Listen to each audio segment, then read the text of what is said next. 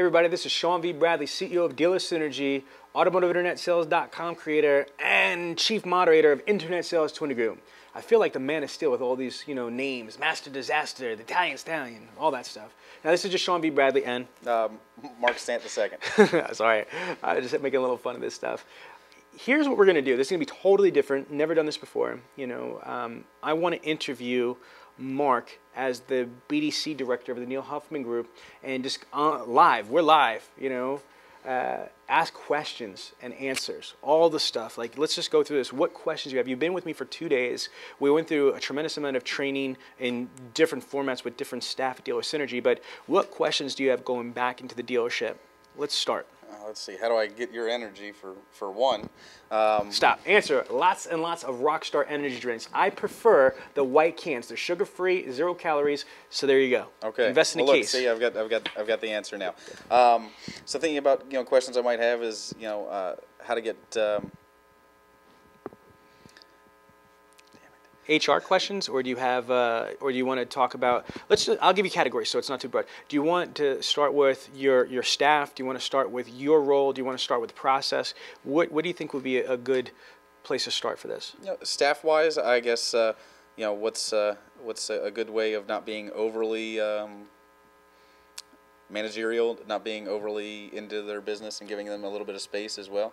Okay, training. Okay, that's what I would uh, do is and uh, duh training. But what I would do is really set expectations. You have what six uh, appointment setters? I've got six right now, another two that should be coming on, and Okay, so you're going to have eight appointment setters. That's almost the entire showroom floor. The average dealership has 10 salespeople. You're going to have eight phone salespeople, correct? Correct. So what you want to do first is set proper expectations. Clearly identify what the job roles and job expectations are for your coordinators. In the dealer synergy system, you need to always articulate, listen, you have two job roles. I'm going to pretend I'm you and I'm talking to my team of appointment setters. Uh, your primary objective as an a internet sales coordinator or BDC rep is to make phone calls, make and take phone calls. And obviously, your number one protocol is try to secure an appointment. So again, they always have to know, almost like you're putting blinders on them. Not really, but metaphorically put blinders on them. You want to stay laser targeted focused. You're not worried about pricing, availability, chasing steps, any of that stuff, product presentation. Your job is to pound the phones. Pound the phones, make phone calls. You're only going to have an 11 to 14% connection ratio on the phones. So the majority of what your job is follow up, follow up, follow up. Phone call, phone call, phone call, voicemail, voicemail, voicemail, voicemail. So, you know, that's what you need to prep your people with. Set up the expectations like, look, this is not going to be an instant gratification job. The majority of what you do is going to result in a non opportunity or non deal. Make them feel clear what's going on. Second thing I would focus on is that, okay, your first objective is to secure an appointment. However, what is your secondary? There's only two objectives. One is to secure an appointment. If you cannot secure an appointment, your secondary objective is to fully qualify that prospect and set up for a proper TO. I'm going to repeat that. So if you cannot, if you understand, oh my gosh, I can't close this appointment because they're difficult, they're this, they're that, they change their mind, okay, then what you're supposed to do is go into protocol two. If you cannot secure an appointment, you are to fully qualify as much as you can, get information on the trade, down payment, monthly payment, whatever, as much as you can, and set up for a quality TO. So I think to answer your question, how do you not over manage them, micromanage them, stress them out, stress yourself out, is by setting proper expectations, setting boundaries. I'm here to be, you know, your friend, your support mechanism, but I am also your boss. Here's what I expect. And here's the other thing I would say to you, don't ever allow them to test the boundaries. Now I'm speaking not as Sean V. Bradley, internet, you know, rock star. I'm talking to you as a dad. You know, I have three kids. You cannot turn around and say, okay, here's the line of demarcation. If you cross it, and then they go, I just, you can't see that, but I put my foot out, I think. So you, you've got to be able to set expectations and give consequences, not just negative consequences, bad stuff, punishes, but good stuff. If you do this, you could expect this positively. If you do that, you can expect this negatively. So I believe the best way to answer your question is just by setting proper expectations, um, you know, of, of what their job is and what you expect of them. Would you agree? Yeah, that, that sounds like a good way to overcome that for me. Okay, so we talked about the people, we talked about the process. Okay. Um, you know, we could talk about uh, the actual phone calls, the leads, anything related to the internet. Okay. Uh, so you know, managing leads and and uh, you know how uh, how many times uh, trying to contact someone's enough's enough. Um, Let's start there. That's that's a good one. All right, Joe is going to be is your digital marketing person. So Correct. you you said to me that you're going to have about a thousand leads additional. Additional on top of what we have now. So you're gonna have eight. stores. You're gonna have you have two stores, four franchises, eight appointment setters plus yourself. So you're gonna have a, a heck of a lot of leads. Well, let's just go through the actual drill down. Each one of your appointment setters should be making 120 phone calls, make or take per day. Now, out of that, let's go through the conversions. They should, you know, connect with about, you know, like I said, 11 to 14 percent, which is roughly about 14 to 17 people. Out of the 14 to 17 people each, they should be uh, converting about 25 to 33 percent into appointments, which means each one of your eight appointment setters should be making approximately four to six. Let's just call it five appointments a day. So now for you, what does that mean? Eight times five is 40. You should basically have an understanding that your department should make 40 appointments a day. 40 appointments a day. That's a lot of appointments, my friend. Yes, it is. Okay. so now, once you understand that, let's talk about the, the, the frequency of calls. As per the dealer synergy process, you're supposed to email and phone call every single day for the first 31 days. We're not going to worry about on camera. That's all private stuff. What do you do from day 32 to day 90? But for here, it's very simple. Day 1 through 31, it's email, phone call every single day. You have Dealer Peak, correct? Correct. That's so, our CRM. So your Dealer Peak CRM system is going to be, you know, programmed with action plans, protocols, you know, and email templates. Day one through day 31. So your computer, a lead comes in. Let's just say the lead is L.A. Williams. Look it on a cord. L.A. comes in. The the the Dealer Peak CRM is going to send out email template one. You're gonna your rep's going to phone call. Uh, the next day, if there's no response or have you, your, your uh, CRM dealer peak is going to send out day two, and then so on and so forth. Day two, email two, day three, email three, day four, email four, and so on and so forth. Make sense? Yes. Now, what your reps are going to be conditioned to do is to make a phone call every single day for the first 31 days. Now, does that mean that's all you should do? Absolutely not. Then this is really important. What you want to be able to do is be very cognizant and train your people to be cognizant about the time frames. 6 to 8 p.m. is the prime time to connect on the phones. So you don't want to keep calling LA Williams, you know, between 9 to 5, 9 to 5, 9 to 5, not even 9:30, uh, you know, 5:30, 5:45. I'm talking about you want to flip before five o'clock and after six o'clock. Those are the two different time frames in my mind. Is you know before five o'clock and then after six o'clock.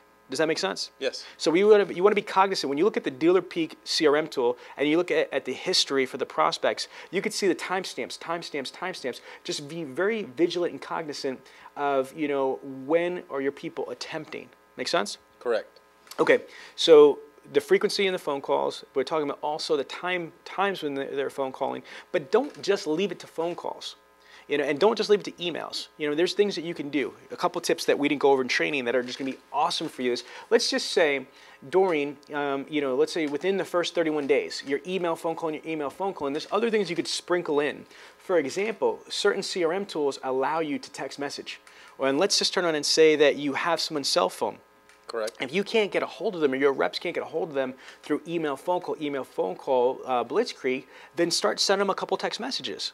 Okay. You know, certain CRMs are integrated with social media. Even if yours isn't integrated social media, if you have an email address from that prospect, right, you could cut that and drop it into LinkedIn. You could drop it into, you know, Facebook. You could drop it into Google. And chances are, if they're if they exist exist in any other social media or they their their profiles exist anywhere out there, you might be able to find them on LinkedIn, Facebook, Twitter, whatever, and you could social media engage them. And where do people access their social media?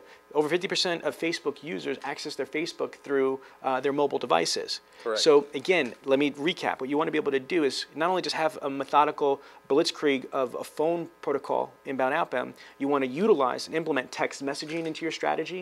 You want to implement and utilize social media into your strategy. And here's something else. Let's just get into it. Let's just say, and that's just to instigate a communication. Let's say you have engaged a prospect and they say something like, "Oh, I'm sick," or "Oh no, you know, we had a, a death in the family." Oh, you know, oh, we have an anniversary. Oh, it's my son's birthday, my daughter's, you know, birthday. It's a confirmation. There's times, right or wrong, through it, you've been in sales for a little bit that you you find out things about that person on a personal basis. Would you? Is that correct? That's absolutely correct. then take advantage of it. If somebody turns around and says anything like that, you could send them a free e-card. You could turn around and send them some flowers. You could send them, you know, some things are free, some things cost just a little bit of money, but invest your emotional bank account into, you know, showing these people that, you know, that you're sincere, that you care about them. It's called relationship selling. Does that help? That, that does definitely help. Okay, what other questions can I answer for you? Um, you know, off the top of my head, I'm not. I'm not thinking of Okay. any right what about what about this? How do you feel about you know what do you think? Let's play the game. You know what I mean? You're, you're a new internet you know slash BDC director. You're gonna have a team of uh, appointment phone setters, right? Then some of them don't know anything about automotive. Mm-hmm. All of them don't know anything about- All of them don't know anything about automotive, but th- that's okay because they're profiled and they're going to be great phone experts, right? Correct. So what do you think they're going to say? when they take Anything, yeah. Well, I mean, uh, you know, I've been working with them on getting them trained on the actual product, uh, and and you know, we, we really just got to go more over the scripts. I got it. Let's talk about this. Time check. What time is it? Don't stop. What time is it? Okay, good. So we're going to do one more minute, okay? I, I've got an idea that we're going to close this section out. The training for them. That's what you should be asking me. Okay. All right, here's the things that you can do for your new people. And then this video is for them too, by the way. Okay. I, mean, I want them to see this. Okay, for your new people, you should go into, and you should obviously, the number one thing you should do is they should master Dealer Peak. You need to turn around and get them, you know, I don't know if they have web training, they've got video training, YouTube Dealer Peak and see what shows up. Call Dealer Peak. Make sure your staff are completely experts on Dealer Peak. That's the number one tool that they have. Correct. They should be trained on your dealership website. To them, you got to be able to know how to use that dealership website like a PowerPoint presentation. They need to know all about the OEM websites. They need to know all about the lead source providers that you're on Cars Direct, Auto Bytel, AutoUSA, Dealix. They need to know all that. On top of that, they need to know about Edmunds.com. They need to know about NADA guides, about Kelley Blue Book. They need to know about car and driver, car, you know, um, you know, car review sites.